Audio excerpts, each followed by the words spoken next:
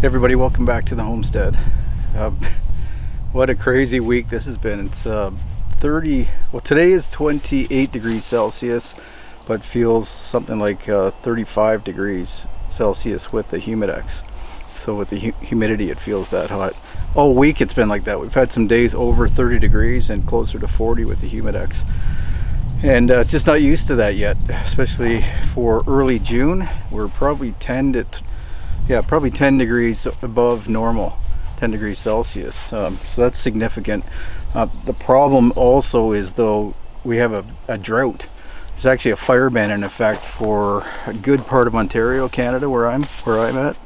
And uh, you know i'm i'm nervous myself like having a fire around this site with all the conifers that i've got and all the dry tinder on the ground. It's uh, it's pretty dangerous. So i've been spending a lot of time out on the water fishing and and uh, canoeing and spending time with my family just enjoying the the warm weather. Kind of taking it easy somewhat um, the garden's taking a lot of my time I'm trying to keep everything watered. And I'm concerned about the water levels here on the property already. So I've been using the uh, last of the water in that big tote water tote. It's a thousand liters and it's down to the last probably 35 liters maybe.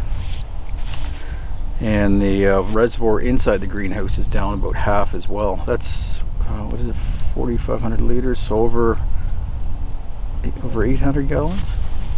Yeah. Closer to a thousand gallon tank and it's down about half now. Been using it to water the plants inside the greenhouse.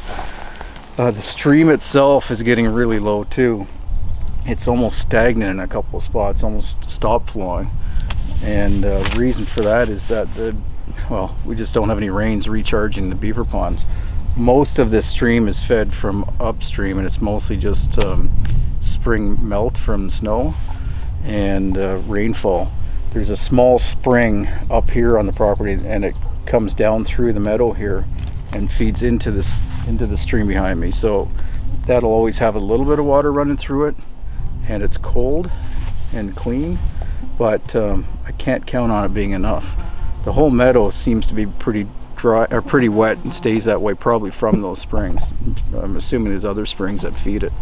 But the main body uh, though is low, the main body of the stream because it is, like I said, it's uh, meltwater fed and we had a far less snow than normal this year too. So we're pretty much in the drought conditions already. So keeping things watered is a struggle. Keeping the plants inside the greenhouse has been fine so far, but it's been excessively hot for this early and with the plants just being small and tender still. So I put the shade cloth up in the ceiling that's helping.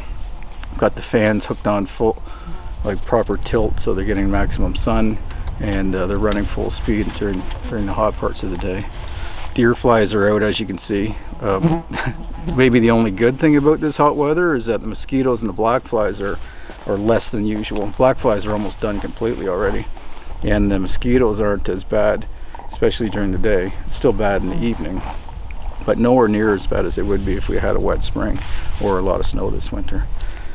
So it's getting up again hot today so I'm just packing up here again and I'm gonna get out in the water and do some fishing just enjoy the uh, hot weather and, and get back at it. It cools down a little bit tomorrow and I think it's overcast with a slight chance of showers. So I'll be back out here doing some stuff all day where I can work in that kind of temperature.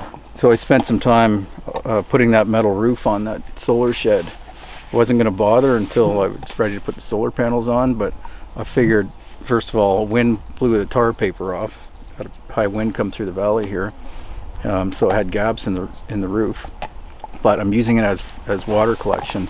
So I put that metal roof on and a gutter going into that rain barrel. I'll get another barrel. I think I've got still a couple more lying around. And I've got that tote. If um, I'm not happy with the way the rain barrels are filling up the whiskey barrels then I'll move that tote over there.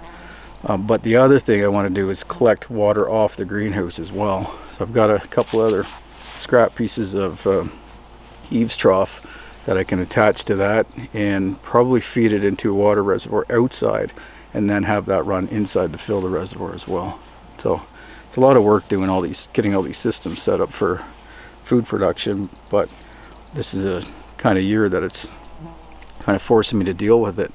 I guess what I forgot to mention though why I'm struggling with all this surface water and rainwater is that I ordered parts for a uh, um, Sandpoint well for two of them actually, one in the greenhouse and one in the future cabin. And it's been three weeks, maybe four weeks, and every time I think it's about to arrive, I'm going to get an email or text saying that uh, I can drive into town to pick it up. I get an email instead saying the order's been canceled because the material's not available. So I've been calling around. I thought I had a guy uh, ready to make some for me this week, and uh, he hasn't gotten back to me now.